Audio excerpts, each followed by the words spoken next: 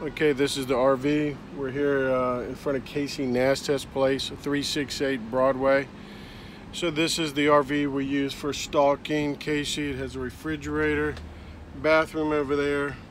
We're right around the corner. We're right next to the, I think, where the pizza place is. So now we're gonna walk to 368. Whoops, sorry. This guy's a little pissed off. Sorry about that. A little pissed off. Okay, so this is Broadway. So Casey, we're looking for you.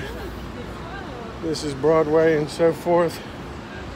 And uh, doing some stuff, looking some videos and everything. Walking down here.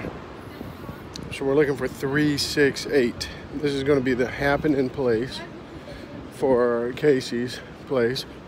Still under construction. But if you look above the door there, we got three, six, eight, and the six bleeds into the eight. So this is three, six, eight. Casey Neistat, we're looking for you.